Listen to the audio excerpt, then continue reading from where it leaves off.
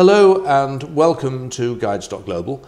My name is John Howell and I am the editor and with me today I have Başak Yıldız Orkun who is a lawyer practicing in Bodrum in Turkey. Başak, thank you for being here and thank you for agreeing to discuss this really quite complicated task of how you deal with the effects of accidents here in mm -hmm. Turkey. Yeah. I should explain that this is a video which is about a subject we've also covered in a written guide, and that written guide is available at www.guides.global. So uh, for extra information, please do have a look at that. Sebastian, we all know that in every country, accidents happen, people get injured. And every country has ways of dealing with that so that people can get compensation and they Correct. can be looked after whilst they're disabled and so on. Correct. So what I'd like to do is just go through some of the basics about accidents in Turkey. Mm -hmm. uh, we do have an, a number of separate guides about how you deal with an accident on defective premises, an accident you have on the street uh, or a, on a motor vehicle, uh, uh, and uh, we recommend people to see those as well for the accident they're particularly interested in. But in this guide, we're trying to cover the absolute basics of how you deal with an accident of whatever type. Okay. So, starting then um, at the beginning, do people in Turkey tend to have insurance against accidents? Mm -hmm. Actually, uh, we we could say that there are like different type of insurances covering different type of accidents. I mean, if you have a car accident, there will be a car insurance which is including the accident uh, compensations and some uh, like monetary uh, outcomes.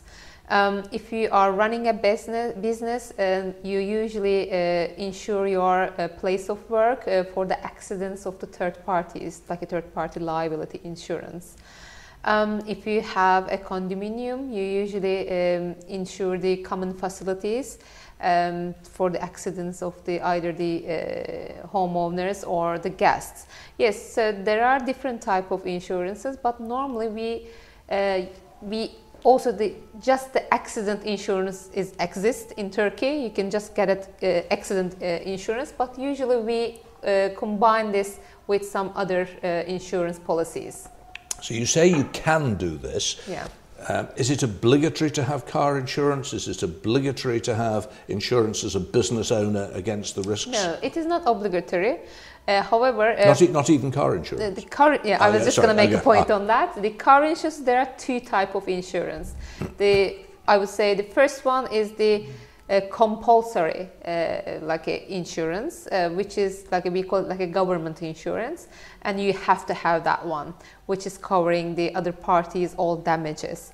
But on the other hand, you can have your private insurance, uh, which is also covering your damages, even if you are in yes. failure and stuff. Um, so, uh, but for the business places, um, it is not uh, compulsory. Only if you are using a mortgage or finance to just uh, uh own your premise, uh, the banks are making you uh, like obliged to have the policies okay. in place. The second very basic point is: Can a foreigner claim for the effects of an accident in Turkey? Are they treated differently from a Turkish person or exactly the same? Uh, it's going to be the, exactly the same, only the, uh, the administrative uh, proceedings might be a little bit different. Okay. Yeah. Now, again, remembering this is in general terms about accidents rather than any particular type of accident, uh, are there basic rules about what gives rise to liability? So, if someone suffers an accident and they're injured, um, on what basis do you claim against the person who caused the injury? If they're in failure, uh, obviously, if the, uh, the damage caused by a third party is like a fault or uh, action or anything, then you can't claim. and is this an obligation that arises under the law of obligations? Or? Under the law of obligation, it is in terms, actually, when we look at the accident, there are two type of liabilities, which is, the first one is born from the Code of Obligations, the compensation.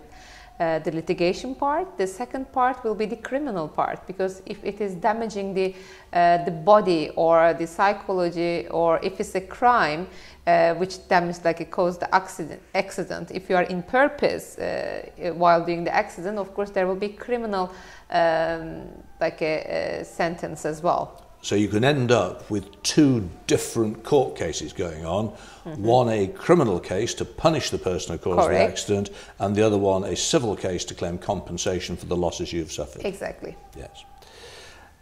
And, and that's true, doesn't matter which type of accident it is, basically that's true of all cases. Yeah, but some accidents, like a um, is not really holding any criminal offense. So yes. uh, not all of them will be end up like a, with yes. a criminal sentence yes. against other party. Yes, some, some accidents some, are just accidents. Just accidents, things exactly. That happen. Exactly. Yeah, but for compensation part, if a third party caused the damage and if it's like a proven before the courts, obviously they will pay the uh, compensation yes. of the damage, loss, together with some uh, like a uh, compensation for your mental um, harassment. Yeah. Yes. And it's probably worth just mentioning here that uh, we'll cover this in a great deal more detail in the video about laws relating to accidents at work. But even if your employer doesn't have insurance against accidents at work, in fact, it's the social security system that makes sure that you get paid um, whilst you're off work sick and, and, and yeah, this will kind. cause a huge trouble for the employer if there is no social security. That whatever is paid by the social security uh, to the person who had an accident will be reclaimed back from yes. the employer. So if he has no insurance, he's in trouble. Yeah. Yeah.